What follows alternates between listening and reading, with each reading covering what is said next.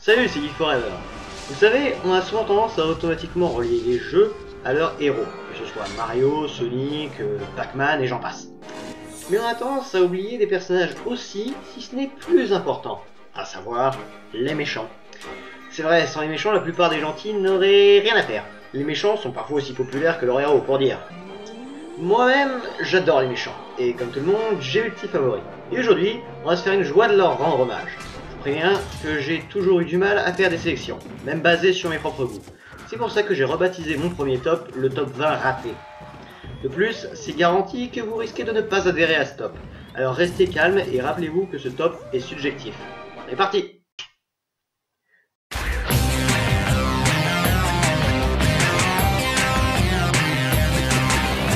Numéro 10.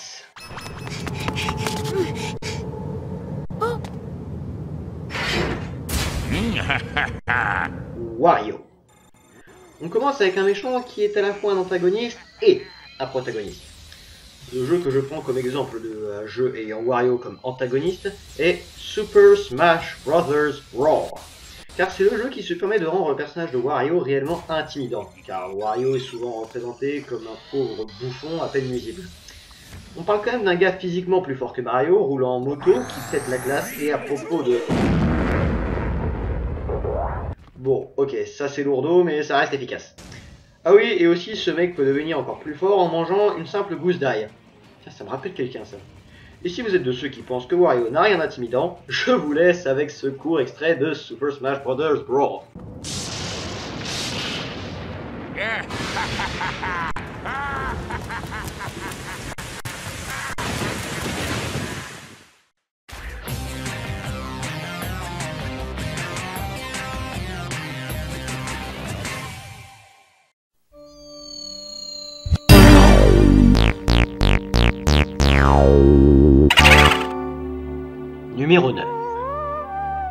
Le roi Boo de Luigi's Mansion.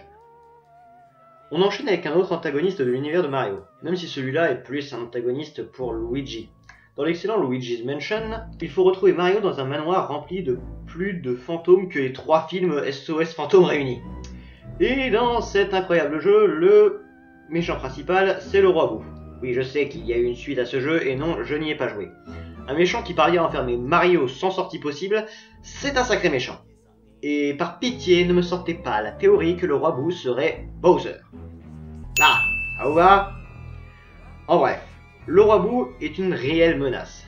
L'un des seuls antagonistes de l'histoire du jeu vidéo à avoir Mario à sa merci, et ce qui fait qu'il n'est que 9ème, c'est qu'il n'est pas aussi développé ou classe que ceux qui vont suivre. Je termine en vous recommandant vivement de jouer à Luigi's Mansion, et si vous vous y aventurez, ne lâchez pas votre ectoblast et surtout, surtout, n'éteignez pas la lumière.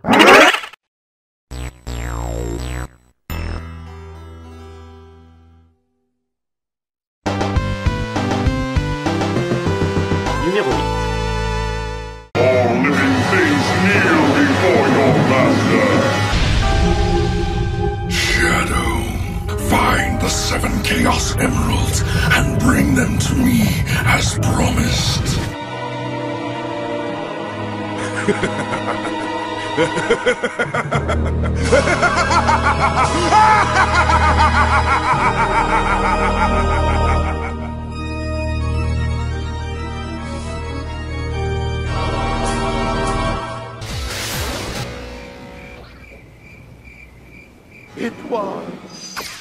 tous les méchants de Sonic.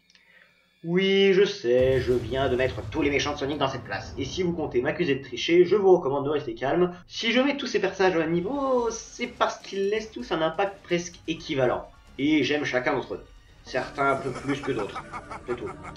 Qui viennent de bons ou de mauvais jeux, euh, que je les ai affrontés ou pas encore, que ce soit Eggman, Metal Sonic ou encore le trio des Riders ou même euh.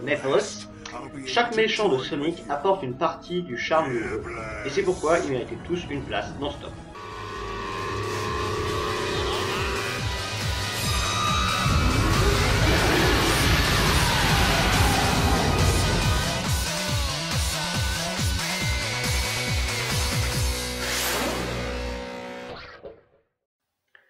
Je vous avoue que j'avais envisagé de mettre un méchant de Smash Bros dans ce top. J'ai évidemment pensé à Créamin et même à Démaniac, ou encore même au ministre antique. Et puis,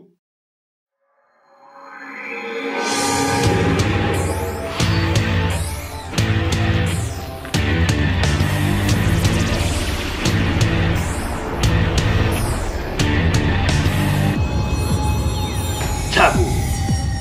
Bonjour, je suis le boss final le plus classe de l'histoire. Ça, c'est un méchant qui en jette. Alors certes, ce méchant ressemble au docteur Manhattan après euh, castration, Nouvelle pilule pour les gens castrés. mais soyons honnêtes, Manhattan fait pitié comparé à Tabou. La révélation de Tabou est très facilement l'un des moments les plus marquants de tout le jeu. On voit d'abord Kreama, le boss des deux premiers jeux, on se rend compte qu'il existe un être encore plus puissant. Un être qui te met KO Ganondorf, Kreama, et la quasi-totalité du casting du jeu, en une seule attaque. Le ministre antique aurait pu atteindre cette place, mais ceux qui ont joué au jeu savent peut-être pourquoi il n'y est pas. Ce qui fait que Tabou est si haut, c'est évidemment sa classe ultime. Mais s'il est aussi bas, c'est parce qu'on ne sait rien de lui et que si on chipote un peu plus, il n'a ni caractère, ni... ni rien en fait. Mais tous ces petits défauts le rendent encore plus badass. Disons que si je m'étais basé uniquement sur le développement de personnage, l'évolution, etc., le ministre antique serait probablement à cette place. Ayons une pensée pour lui.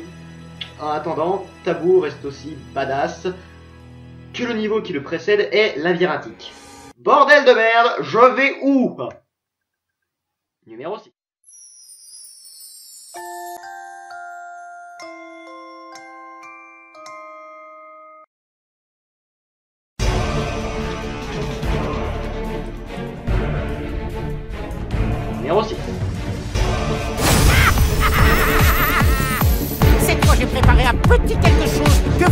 Pas arrêter.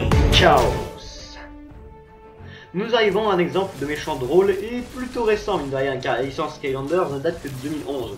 Pour une saga qui contient 6 jeux, c'est quand même assez jeune. Et oui, je trouve Chaos drôle. Il est tellement à fond dans sa constante colère et son attitude cartoonesque que je m'en lasse pas. Comment? Attends, qui est le vrai chaos, toi ou moi? Imposteur D'ailleurs, comme Wario, Chaos est bien souvent montré comme un idiot à peine nuisible. Sauf qu'en plus d'avoir une gigantesque armée à son service, Chaos est rempli à rabord de pouvoirs plus impressionnants les uns que les autres. C'est quand même un mec qui peut se transformer en tête géante, qui tire des lasers, et capable de balancer des putains de requins. Ah oui, et accessoirement, Chaos maîtrise toutes les classes des combats de Sensei.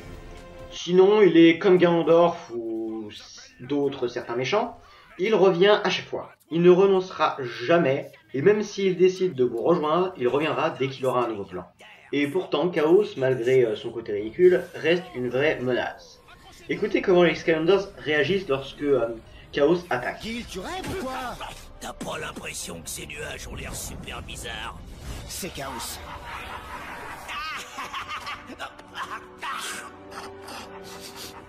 T'attends le... Chaos Oups, je file Pas chaos On doit réunir les Skylanders. Les gens diront ce qu'ils voudront.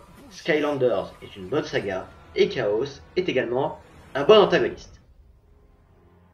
Bon, là je devais passer au numéro 5, mais...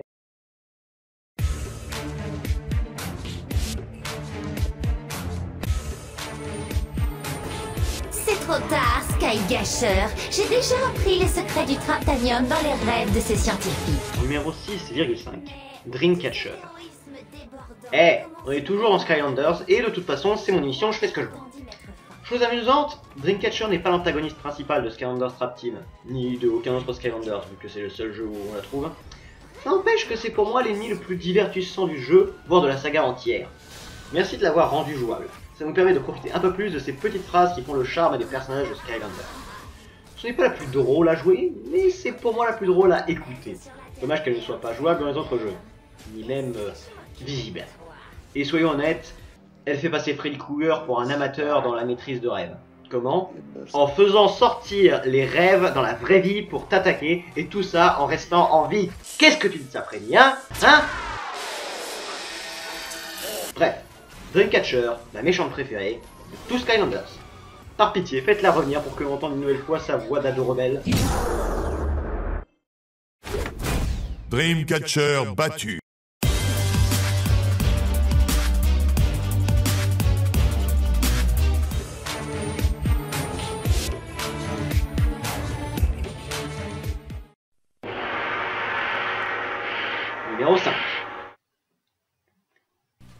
Troubler l'impératrice Hey, what are you doing out here? Looking for a new playmate. Let us dance.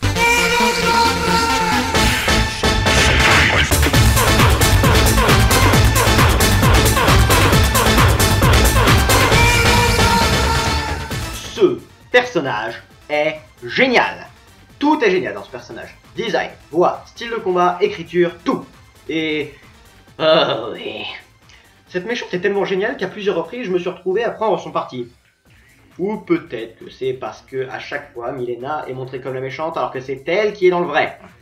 Dans le dernier jeu, Mortal Kombat X par exemple, Milena refuse de s'allier au Royaume Terre et se fait détrôner pour ça. Ça paraît juste.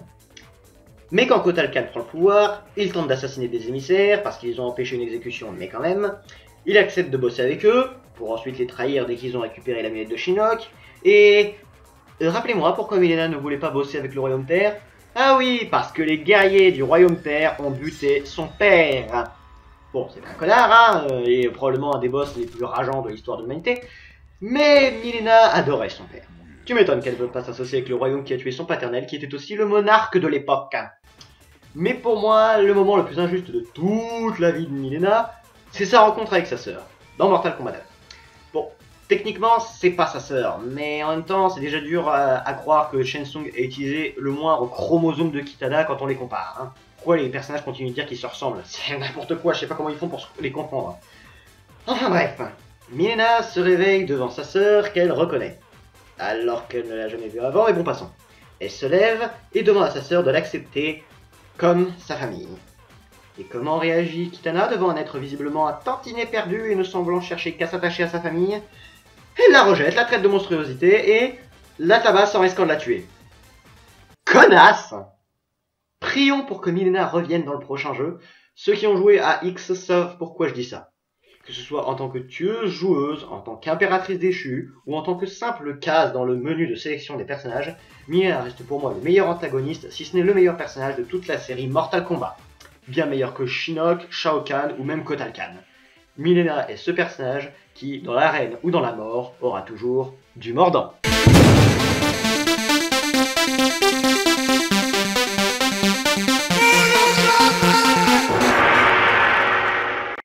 Fatality. Bon, là, je vous demanderais bien de conserver vos commentaires négatifs et vos pouces rouges, qui sont plutôt noirs, mais bref. Soyons honnêtes, vous n'allez pas être d'accord, alors je précise que ce choix est 100% nostalgique. Sans la nostalgie, cette place aurait été occupée par quelqu'un d'autre. Bon, accrochez-vous, on est parti. Lance la musique. Afin de préserver le monde de la dévastation, Afin de rallier tous les peuples à notre nation, afin d'écraser l'amour et la vérité, afin d'étendre notre pouvoir jusqu'à la voie lactée.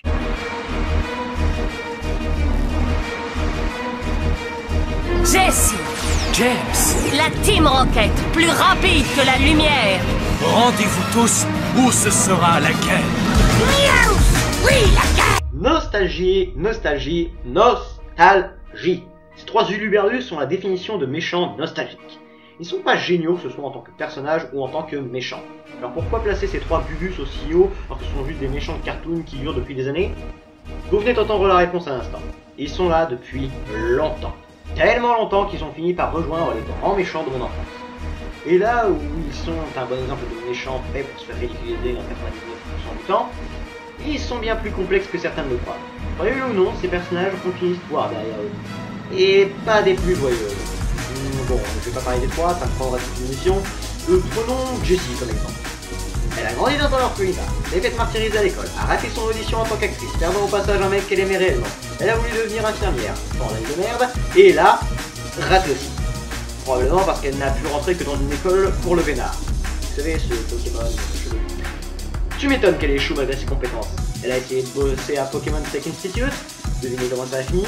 Au final, elle a rejoint un gang de motards, ce qui a fini par la mener à rejoindre la Team Rocket. Voilà. On continue? Pas besoin. Regardez plutôt le ou les épisodes consacrés à ce trio de zinzin. Je les adore. Évidemment, la nostalgie me fait placer aussi haut. mais il y a bien une raison pour laquelle j'ai tant de souvenirs nostalgiques avec ces trois rigolos. Jake, alias Monsieur, j'ai toujours une anecdote sur mon enfance. Jessie, alias, c'est moi la femme qui... Bon ok, c'est moi la bonasse qui doit m'occuper des deux abrutis de service. Et Miaous, alias, je fais passer l'expérience Mewtwo pour une piqûre sur un rat laboratoire. Et c'est moi, le Pokémon, qui dresse les dresseurs. Bon ok, j'exagère un petit peu, mais je m'en moque. J'adore ces personnages en tant qu'antagonistes, en tant que protagonistes, au bon fond, et même en tant qu'agent du chaos. Hein. C'est eux qui le disent, c'est moi. Continuez d'essayer d'attraper Pikachu. Vous n'y arriverez peut-être pas à la capturer, mais vous arriverez à vous inscrire dans le cœur des enfants d'aujourd'hui. Qui sait? Partout où règne la paix dans l'univers, Team Rocket sera présente pour que le chaos prospère.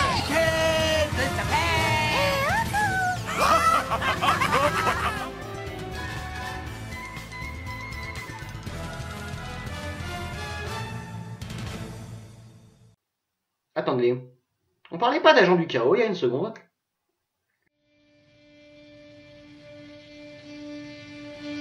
Numéro 3.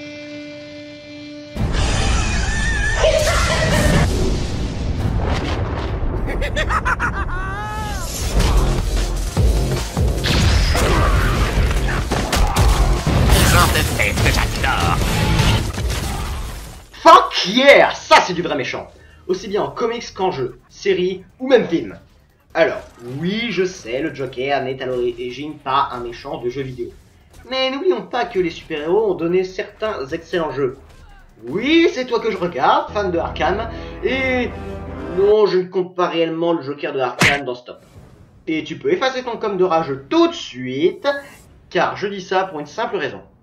J'ai beau avoir la trilogie Arkham sur PS4, je ne suis qu'à 7% du premier jeu et jusqu'ici, je suis désolé, mais je n'ai rien vu qui rende ce Joker plus marquant que les autres.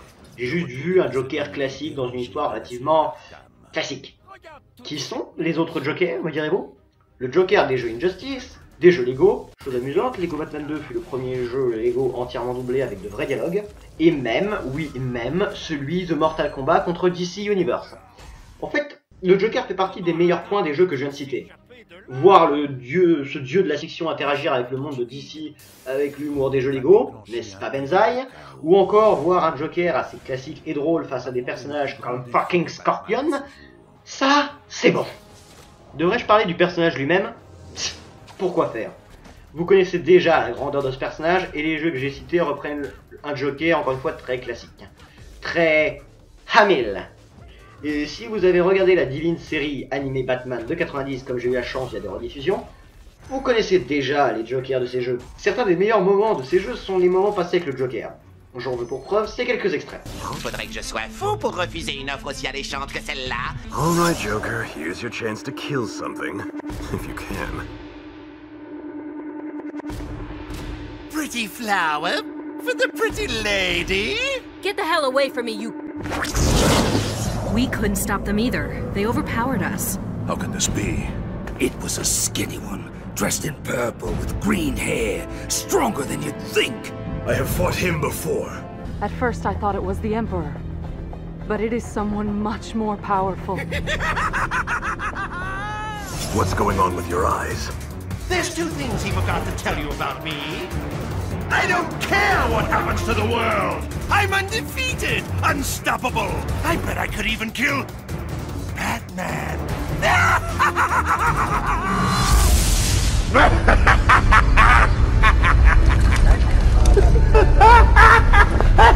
Rien de plus à dire. Ce méchant est mythique et le restera pendant longtemps. Et si vous n'adhérez pas à ce que je dis, je ne vous poserai qu'une simple toute petite question. Why so serious?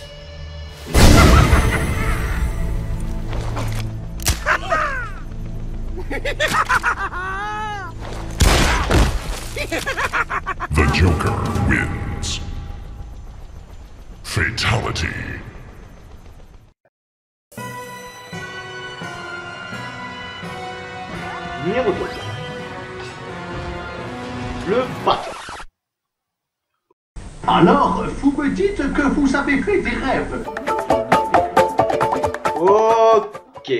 Je pense qu'il va falloir de grosses explications. Alors, pour mettre les choses au clair, je sais que ce placement n'est pas objectivement juste. Pour être honnête, je ne préfère même pas cet antagoniste au Joker, Milena ou même à la Team Rocket. Alors pourquoi ce sandwich est-il aussi haut dans le classement? Parce que c'est le méchant et la révélation la plus... de l'histoire des méchants et des révélations.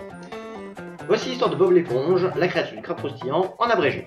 Bob, Patrick et Plankton font des rêves jusqu'à se rencontrer au centre du subconscient de... Bah, l'un d'eux. Et ils y rencontrent celui qui leur a fait faire ses rêves, le pâté qu'ils ont mangé hier. Waouh Fallait y penser, hein, quand même Bon, en réalité, il y a une révélation euh, à la fin du jeu, mais je ne vais pas spoiler parce que je pense que vous devriez essayer ce jeu. Surtout si vous aimez Bob l'éponge. Et il est vrai que j'ai aussi mis ce personnage pour parler de ce jeu. Sérieusement, la personnification d'un aliment comme méchant dans un jeu ayant lieu dans les rêves de trois membres du casting de Bob l'éponge, c'est... magique Rien d'autre à dire là-dessus. Vous savez maintenant pourquoi un sandwich a atteint la deuxième place dans ce top, vous pouvez dormir en paix.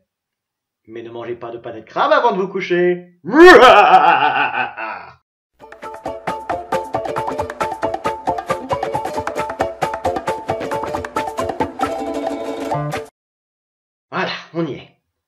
demandez probablement, quel méchant peut bien être numéro 1 On a vu des classiques et des inattendus. Qui peut bien être au top? Réfléchissez quelques secondes, ça devrait vous suffire. On est parti. Numéro 1.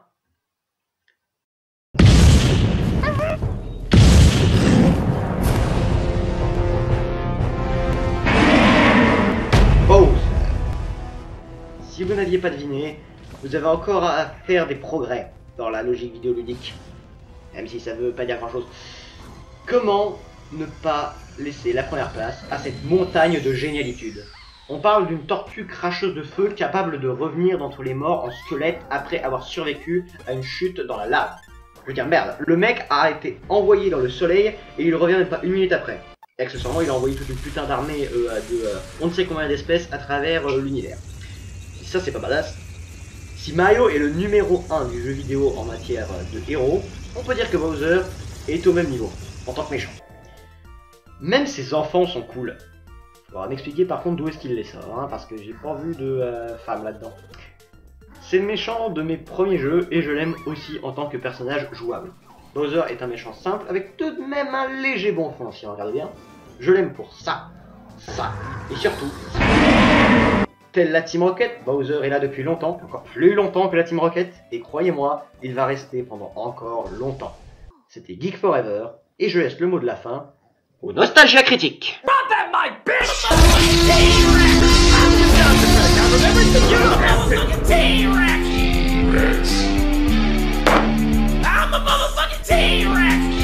T-Rex!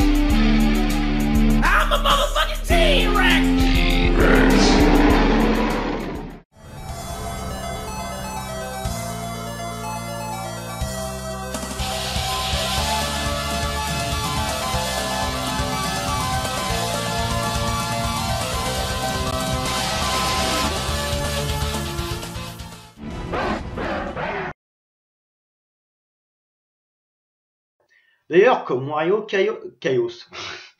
Je coupe ça. Continuez d'essayer de rattraper... Continuez... J'en ai marre. Continuez... Ah 3 à 4. On y va. Surtout, sur ça, ça, ça, ça.